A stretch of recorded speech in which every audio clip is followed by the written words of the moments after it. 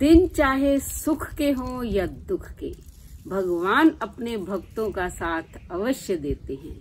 तो नमस्कार मेरे प्यारे प्यारे बच्चों, आप सबका हार्दिक हार्दिक स्वागत, अभिनंदन। बेटा, अब 31 जनवरी को आ रही है माघ महीने के कृष्ण पक्ष की गणेश चतुर्थी, जो संतान को दीर्घ आयु प्रदान करने वाली और अखंड सौभाग्य देने वाली होती है।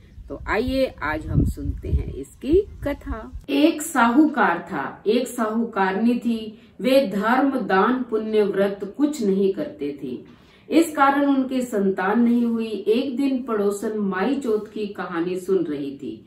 तो साहूकारनी ने पूछा, आप किसकी कहानी सुन रहे हो? उसने कहा, आज माई चौथ का मेरा व्रत है। मैं उसी की कहानी सुन रही हूँ। साहूकारनी ने पूछा, इसके करने से क्या होता है? तब पड़ोसन ने कहा, अन्न, धन, संतान, सब कुछ मिलता है। तब साहूकारनी ने कहा, अगर मैं गर्भवती हो जाऊँ तो सवा किलो का तिलकुटा बनाऊँगी और चौथ माता का व्रत भी करूँगी। कुछ दिनों बाद साहूकारनी गर्भवती हो गई। तब साहूकारनी ने कहा, अगर मेरे लड़का होगा तो ढाई किलो का तिलकुटा बनाऊँगी। उसके लड़का भी हो गया। फिर उसने कहा कि, हे चौथ माता, इसका विवाह हो जाए तो सवा मन का तिलकुटा बनाऊँगी। बेटे का विवाह तय हो गया। वे बारात लेकर लड़की वालों के घर पहुँच गए। अब चौथ माता ने सोचा, इसने जब गर्भवती नहीं हुई थी, तब तिलकुटा बोला था। अब लड़के का विवाह करने चली है, लेकिन इसने एक बार भी तिलकुटा नहीं बनाया। अगर इसको चुटकला नहीं दिखाया तो कलयुग में मेरी पूजा कौन करेगा?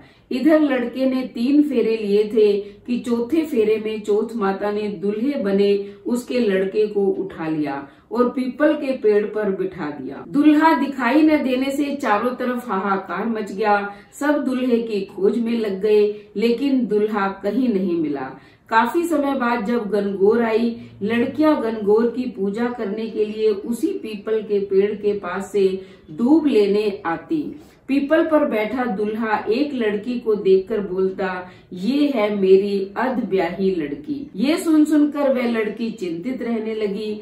उस लड़की की माँ ने एक दिन लड़की से पूछा कि मैं तो तुझे अच्छा खाने पीने को देती हूँ, फिर भी तू कमज़ोर होती जा रही है। क्या कारण है? तब लड़की ने कहा, माँ, मैं जब रोज दूब लेने जाती हूँ तो पीपल पर एक दुल्हा बैठा हुआ है। उसके हाथों में मेहंदी लगी हुई है और सिर पर सेहरा पहना हुआ है। मुझे देखकर रोज कहता है, ये है मेरी अर्ध ब्याही हुई लड़की। जब लड़की की माँ ने वहाँ जाकर देखा तो वो तो उसी का जवाई निकला। तब माँ ने कहा कि, आप मेरी बेटी से आधा विवाह करके यहाँ क्यों बैठे हो? तो दूल्हे ने कहा, मुझे चौथ माता ने यहाँ बिठाया है। मेरी माँ ने चौथ माता का तिलकुटा बोला था, लेकिन बनाया नहीं तो चौथ माता ने नाराज़ होकर मुझे फेरों के बीच से उठाकर यहाँ बिठा दिया। लड़की की माँ ने सारी बात लड़के की माँ को बताई।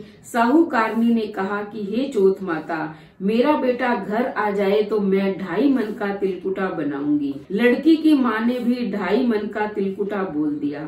चौथ माता राज़ी हो गई। लड़के का विवाह पूरा हो गया। फिर साहूकारनी ने बड़े धूमधाम से चौथ माता का व्रत किया व तिलकुटा बनाया। सभी को तिलकुटे का प्रसाद बांटा और पूरी नगरी में ये घोषणा करवा दी। सभी माघ महीने की कृष्ण पक्ष की चौथ का व्रत अवश्य करें व तिलकुटा बनाए। हे चौथ माता, जैसे आपने साहूकारने को बेटा व बहू दिए, वैसे सबको देना। कहानी कहने वाले को भी, कहानी सुनने वाले को भी, और हुंकारा भरने वाले को भी।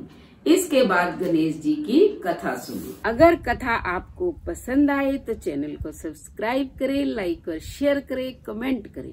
और बेल आइकन के बटन को दबाएँ ताकि अगली कथा का नोटिफिकेशन सबसे पहले आपको मिले। धन्यवाद।